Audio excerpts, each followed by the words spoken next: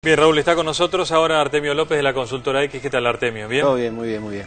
Bueno, este, estamos pendientes de alguna cifra. Hasta ahora no se puede dar oficialmente, pero los dos partidos que presuntamente iban a balotaje han dicho que sí, lo aseguran ya. Sí, sí. ¿Ustedes también? Sí, sí, eh, eh, hay balotaje, los dos, las dos fuerzas que ingresan tal como se preveía era el Fuente por la Victoria y el PRO. Entre ambos van a reunir aproximadamente el 75% de los votos.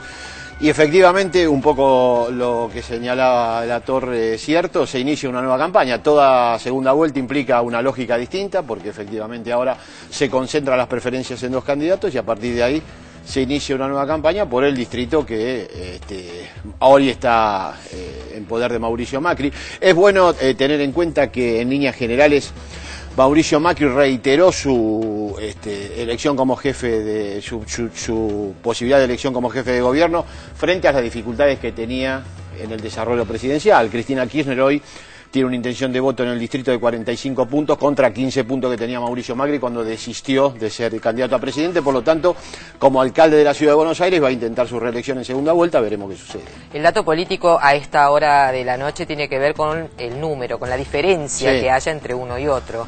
¿Qué se especula? No, si en términos matemáticos, si la diferencia es de 10 puntos, la segunda minoría, si hubiera una diferencia entre primera y segunda de 10 puntos, debiera obtener el 70% de los votos que no votaron a ninguna de las dos minorías en la primera vuelta para poder dar vuelta al resultado. Obviamente, a medida que se estira la diferencia, esa, diferencia esa, esa, necesidad de captar votos es más estricta, más amplia, del 70, 72, 75%, y a medida que disminuye, va camino a el 50, 60, depende, depende de la diferencia, pero es obvio que cuanto más se estire la diferencia entre las dos primeras minorías, más dificultoso se hace el desarrollo de segunda vuelta para el que ingrese segundo.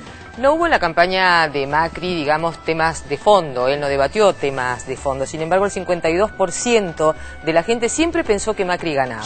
¿Por qué? Bueno, hubo un clima de campaña favorable al jefe de gobierno inicialmente. Yo creo que es atribuible a la propuesta de Mauricio Macri de no participar en ningún este, debate ni ninguna compulsa que debatiera gestión. Efectivamente fue una estrategia, pero al mismo tiempo convalidada por la oposición, sobre todo por la segunda minoría que le convalidó la estrategia de silencio. Yo supongo que ahora esa lógica se va a quebrar y en segunda vuelta irán a discutir seriamente, lo cual creo es el atributo central de la oposición que discutir la gestión de Mauricio Macri, porque el nivel de aversión de Mauricio Macri como el de Daniel Filmus, que son los dos candidatos que van a ingresar, están en el orden del 40%. Lo que está en discusión en la gestión, en primera vuelta, de alguna manera se corrió la discusión, es eh, esperable que en segunda vuelta, sobre todo para este, el resultado de esta segunda vuelta, en función de la oposición del Frente por la Victoria, se discuta gestión.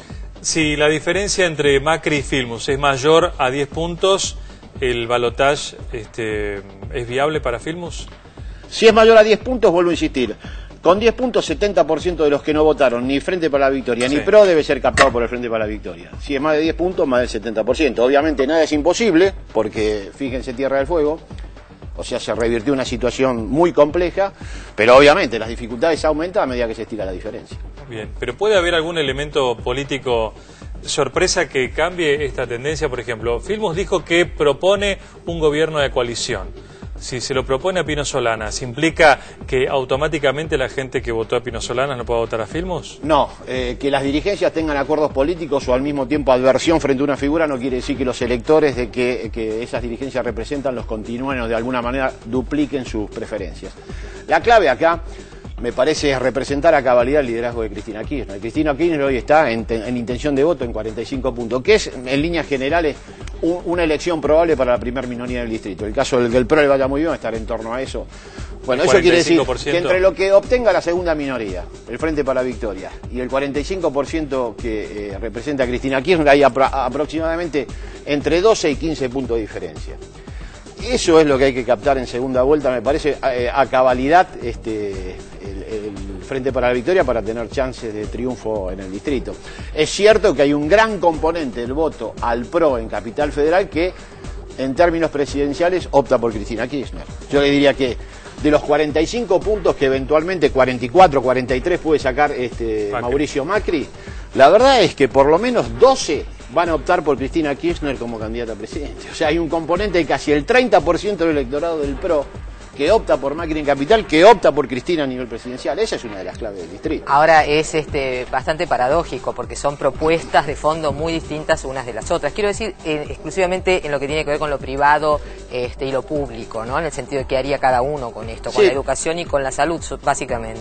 Bueno, son de dos dimensiones distintas. Uno es municipal y otra es, una elección nacional, ¿no?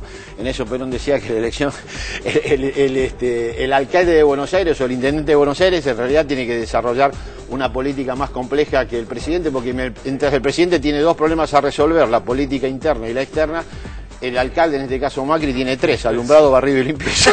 Pero de todas maneras, como son de dos dimensiones distintas, me parece que no es bueno, digamos, hacer la mezcla en términos ideológicos. Pero es cierto que aparentemente es una paradoja. Pero ya cuando Néstor inauguró la experiencia del Frente para la Victoria en Capital, el 80% de los que votaron Kirchner en el 2003, luego votaron Macri frente a Ibarra en la elección de, municipal. Muy bien, Mariana, ¿hace una pregunta o hacemos la pausa? Hacemos la pausa, enseguida volvemos, no te vayas, Artemio, ya volvemos.